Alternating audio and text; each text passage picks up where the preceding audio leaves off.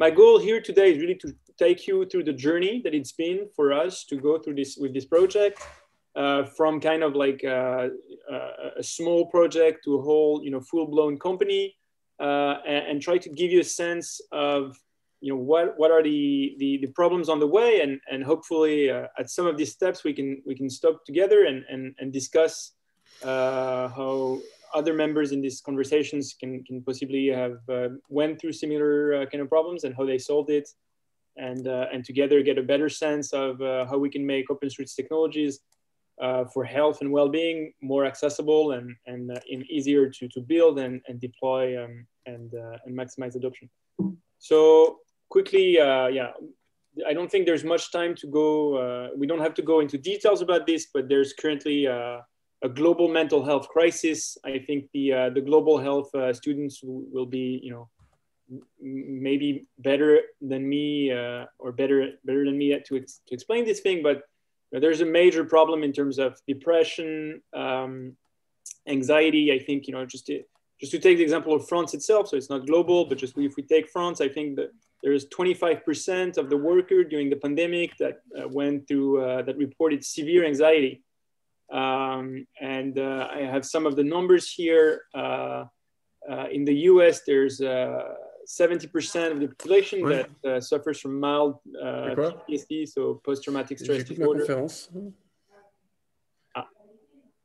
Uh, si so uh, yeah, we have one third of the population that's you know, depressed, uh, anxiety also, uh, isolation and loneliness, um, and you know internet addiction. I think this number is largely underestimated and you're, you're doing a podcast, I think a very interesting podcast to look into uh, the side effects of technology. Maybe you already know it. It's called Your Undivided Attention uh, by Tristan Harris from the Center for Humane Technology, um, who's doing a really good job at showing all of the side effects that technology as we know it today, uh, that is technology that is addictive by design and where the, uh, the, the economic model of the people who own the technology revolves around uh, you know attention um, uh, of users very much in the same way that you know TV uh, functioned in terms of uh, attention uh, and, and paying for attention to, to, to sell things to people. Uh, they're doing a really good job at explaining the side effects of, of this, especially on millennials. So I was listening to a talk by Jonathan Haidt the other day, for example, uh, on the how you know suicide in in in, in young uh, adults uh, you know exploded after the introduction of the like button for example.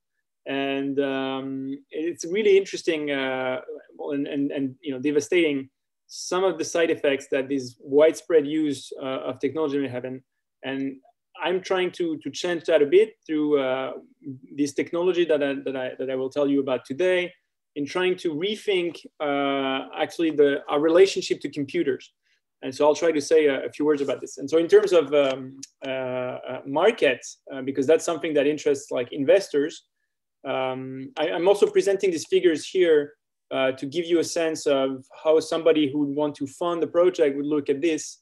Um, they, they represent like a huge market. So you have a lot of corporate interest into these things and, and wellness is and, and, and mental health is starting to be sort of like a strategy for a lot of investment uh, funds.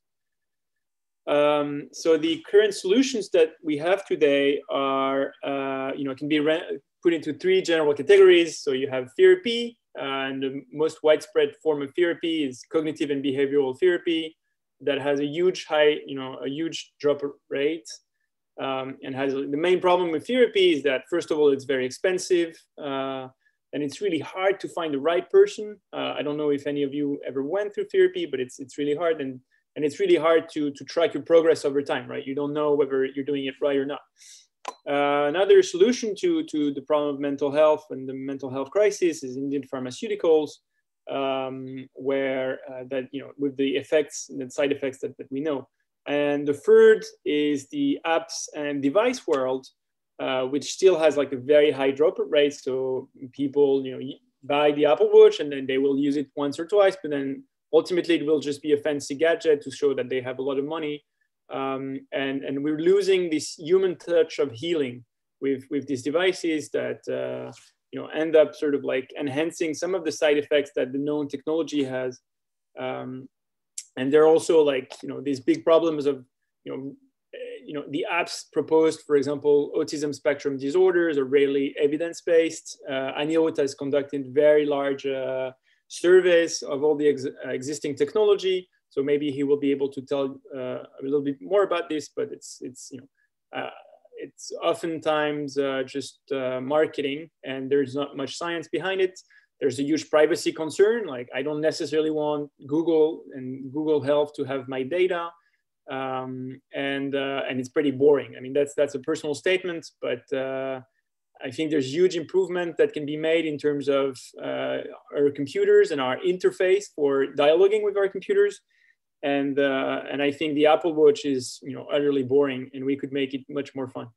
Um, okay, so this, um, sort of interest in mental health is also um, uh, you know preceded or accompanied or paralleled by big changes uh, at the level of the National Institute of Mental Health, uh, which is going from a more categorical psychiatry where you put people into boxes depending on some symptoms that they may have. So you have you know, checkbox. This is the uh, classical or standard uh, you know, approach of the diagnostic uh, statistical manual, the DSM, where you know you put people into these, these, these boxes depending on whether or not they have specific symptoms.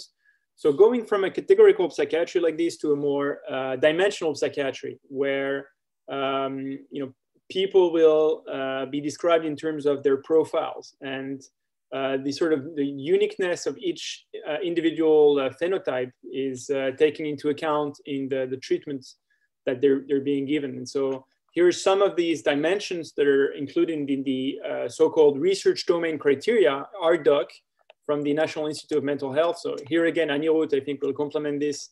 And Anirudh has been working on you know, building the software that can actually take this into account and, and move away from this you know, uh, you know, ticking box um, psychiatry to a more you know, individualized, personalized um, and, uh, and, and, more precise psychiatry.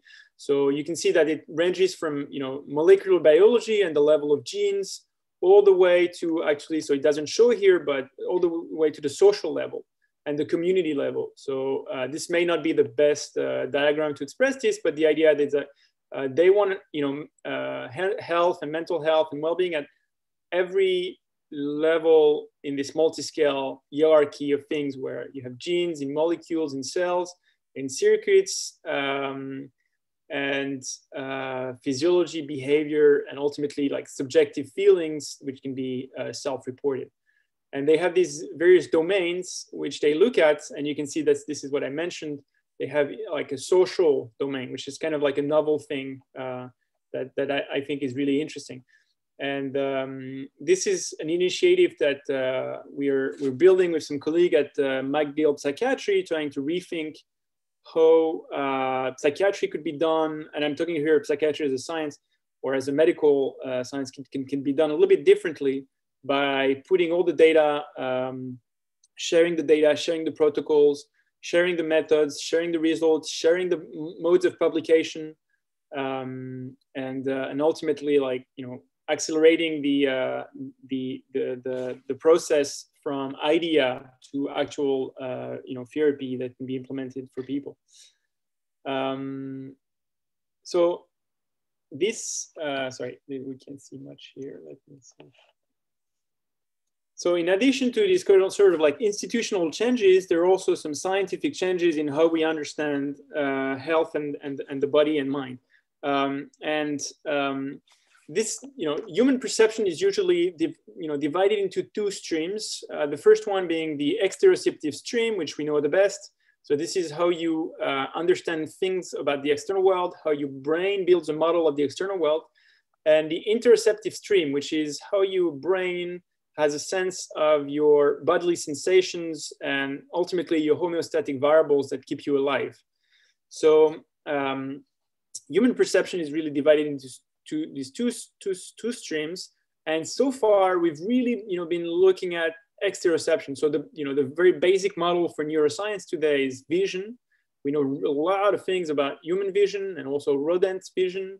Uh, and for a long time, because of historical you know, dichotomies between brain and body or mind and matter, uh, we sort of let aside the role of the body in, in mental health and emotion and well-being or just in, in general in, in cognitive processes.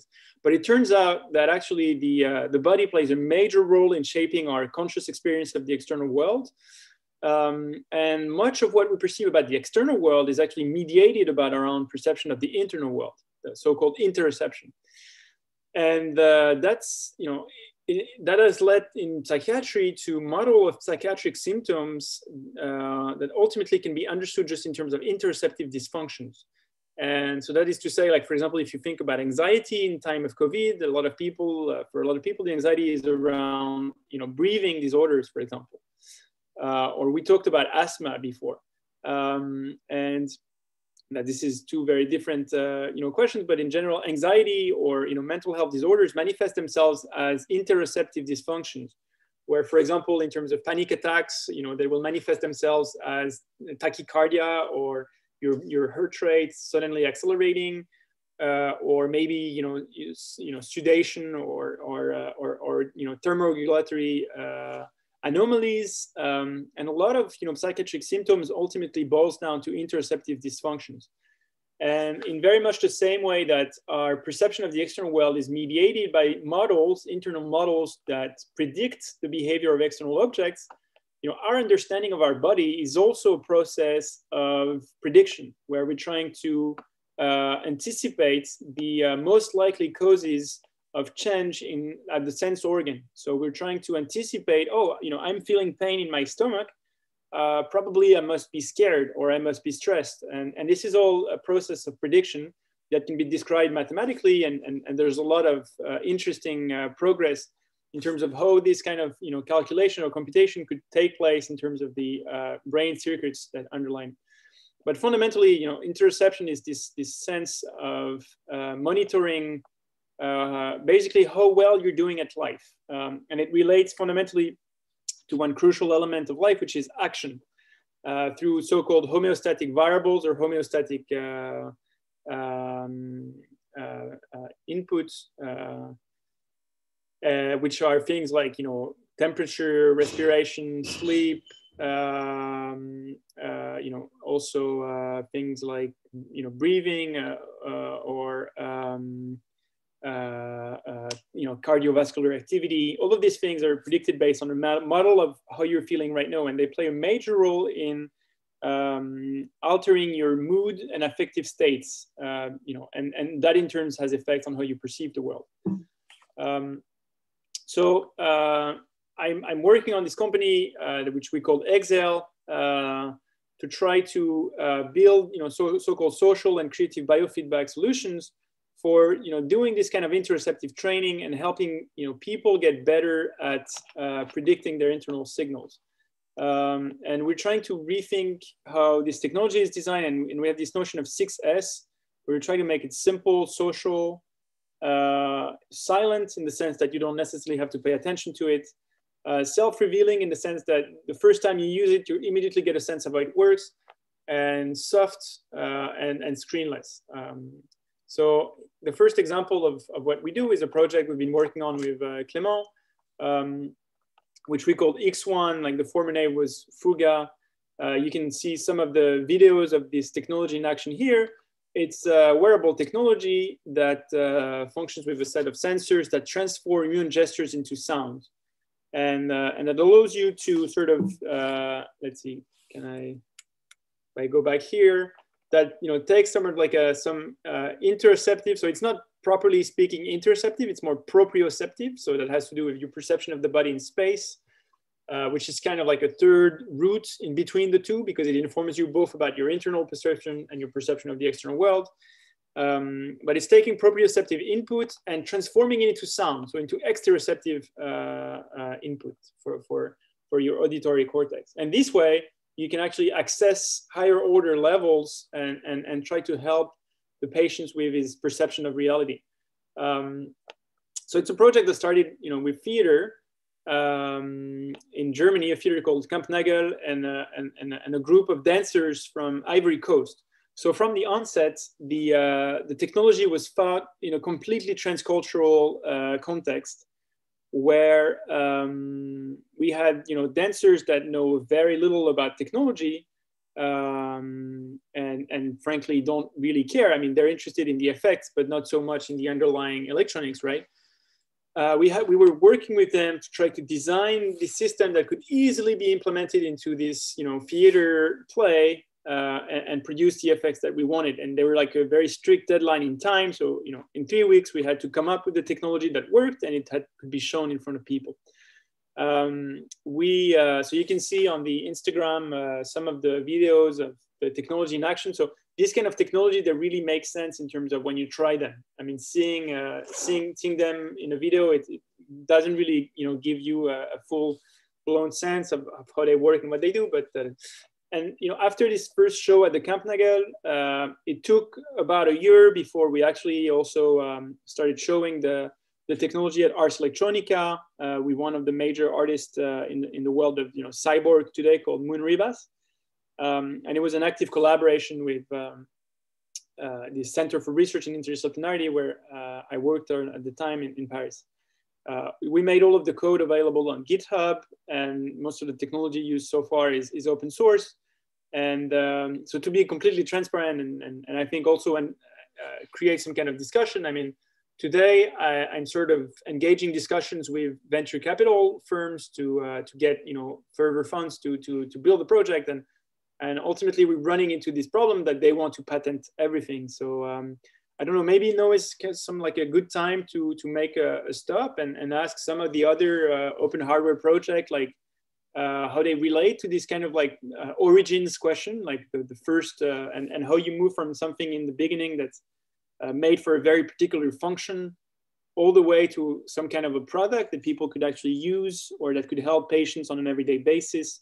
Uh, and also this question of, I think, IP and, and patenting and, and how do you deal with, you, know, you know, finding funding um, when um, you're neither really doing research because you want to help people. And I think there's a lot of problem with research where a lot of the amazing research that's being done in the labs usually never leave the lab and, and end up, you know, dying without anybody using them um, or using it. Uh, and, and at the same time, you know, without falling into the trap of having like uh, proprietary data sets or technologies that uh, can be only useful to very few people that have enough money to afford them uh, and also you know like slowing down the, the, the rate of, of progress um, because not everybody can add little improvements there.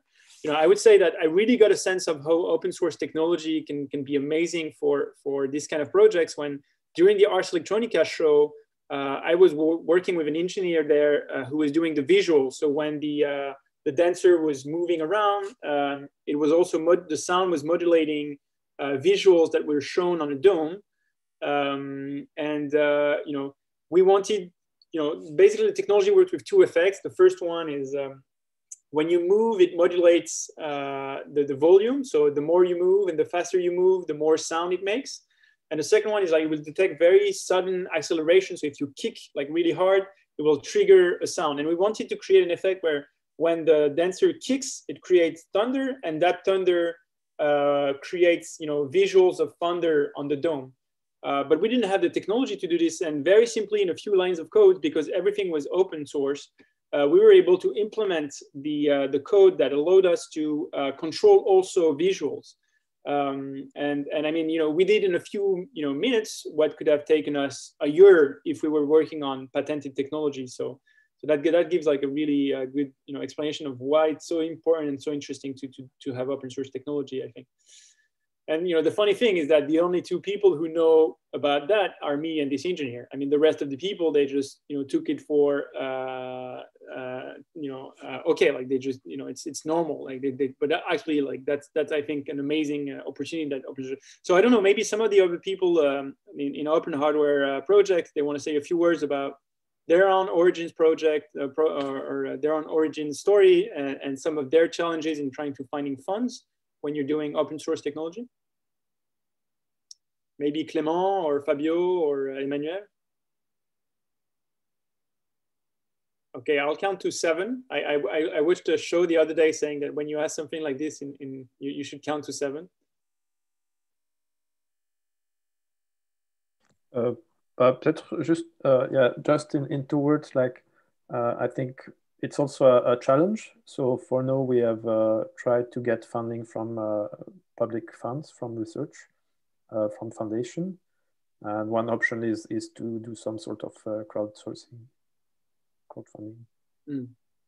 So no no VC mm. because I think it's uh, it's really a different mindset, and uh, I I am not sure it's possible to find a way with them.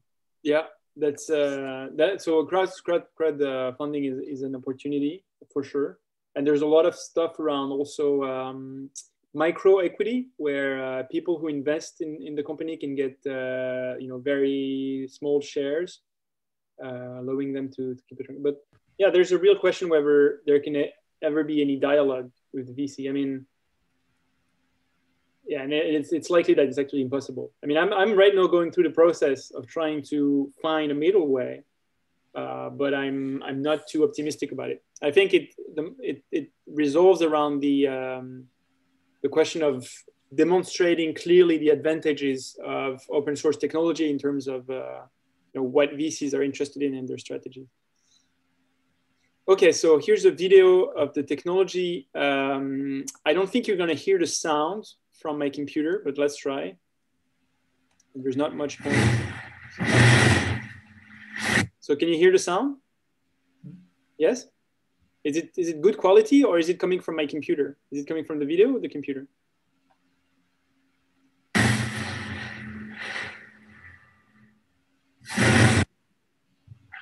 Yeah, so just to give you some context, here the dancer is wearing the uh, devices at the wrist and ankles. And this is a dancer for the Preljocaj Ballet, one of the main ballets in, in, in, the world today. And this is my studio in Paris where I, I build uh, the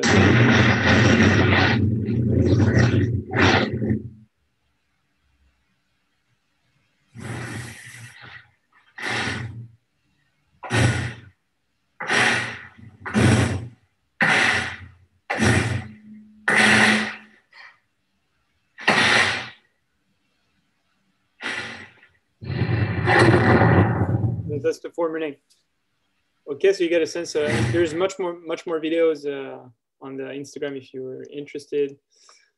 So, okay, I'll go quickly on this. Um, this kind of the uh, underlying uh, models behind that. I, I mean, we're not going to get details. So the idea is that you know the technology can also interact with a lot of different uh, you know sectors and fields. We can work with dance schools, you know, education, fitness, kids, neuroscience, uh, mental health, wellness. And the idea is really to, because we're rethinking our interactions with, you know, computers, you know, it has effects wherever you, you find computers. So we did a first bunch of uh, studies uh, showing that um, we can actually uh, enhance, you know, body awareness. Uh, you know, people, the dancers are more satisfied with the performance when they dance with the technology uh, they have more pleasure dancing. They find it more immersive and it increases the, uh, the embodiment. And there's some interesting uh, effects in terms of the, the dance level. Like, interestingly, the technology works best with expert dancers and complete novice rather than people who are you know, in the process of learning how to dance because they have to unlearn a lot of things. Um, so this is, I think, you know, that, that's our, uh, our, our timeline for uh, like the next six months to give you a sense of how we sort of understand things. Uh, so the very, you know, preliminary um, uh, things to do is to get a functional prototype, and it's that's not such an easy thing to obtain, but we like getting a first prototype, obtaining some results like the one I just showed you, and and building some collaborations, uh, and ultimately in like um, six months we want to be able to uh, to move to uh, having like open uh, like some kind of lab in Paris where people can come and try the technology and, and build on it. Uh, this is really annoying. The, let's see if I do this maybe. Yeah, I don't know. Uh, well, yeah, and then you know getting some collaborations. So building collaborations is, is an important element of it. I think Clement will be talking more about this uh, this evening. But for example, we are collaborating actively with Clement in terms of um, uh, psychogenic uh, epileptic seizures. Uh, trying to use the device for healing trauma and releasing emotions or enhancing emotion uh, expression uh, and helping people who may have difficulty expressing their emotions um, to, to like alexithymia patients, for example. And yeah, ultimately, like also moving to uh, to a stage of manufacturing, uh, obtaining the certification. It's it's a big pain, um, and, and and and working on the design that really fits um, you know the end users um, to ultimately being able to to print uh, you know something like 5000 kits for example in, in the factory. Um, so we're doing this by collaborating with a lot of people. Uh, i mentioned the Kampnagel theater the ars electronica uh, mit media lab where i'm a researcher uh, and specifically the fluid interfaces group um, we went to the uh, startup school at Y Combinator, which is a good exercise, and I would recommend because it gives you a sense of how these people think, uh, which is always like a good thing to know. Uh, and of course, the CRE and INSERM, and, and currently like going through this this program called Entrepreneur First. Uh, so programs of this sort can be really useful to help you find the co-founders, which are really critical. I mean, one thing that really slowed down the, the, the, the, the project was the lack of co-founder and finding the right people to do the technology with is, is really important. Um, and, and building a network is nice, but uh, sometimes it can make you feel like you're making progress, where in fact you're really not. And ultimately, when you're doing a project like this, there are some very precise metrics that you want to see grow, right? Like number of users. Uh, and you know, like that, that's not like so far I've had something like 50 people try Fuga. And ultimately we have to grow, you know, that number because uh, then you get a real sense of uh, you know what your technology ends up doing for people. Uh, and and there's a huge gap between what you imagine that this could do uh, and what it actually does when you put it on people. And so as fast as possible i would recommend prototyping and putting the prototype into the hands of real people and having them send that it, it's really not interesting for them. Because that's that's how you move towards like understanding their pain points and how you can actually uh, help them solve some of their problems um, yeah, so that's my contact. If you want to ask any question, uh, feel free to do so. Uh, I don't know if you have any question at this stage. Otherwise, uh, I'd love to to you know give the ground to Anirudh so he can present some of his stuff. So I'll, wait five seconds. No, just one thing important to me is you, you have an open approach means a lot of partnership with medical institution with artists and, and, it's it's interesting and what you what you say was, was interesting.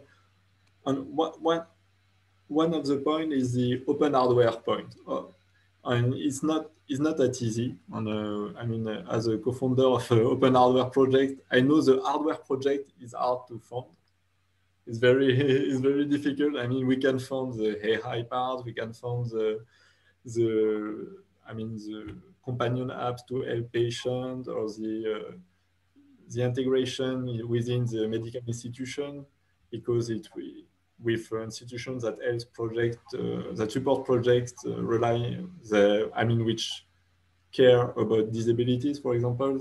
There are, there are some fundings, but for the hardware part, it's quite difficult, to my opinion. And that's that's a challenge for every project uh, like us. I mean, all these collaborations that we can fund with uh, with foundation, with uh, research project, how we can bring it and bring this open this hardware part within the, the fundings.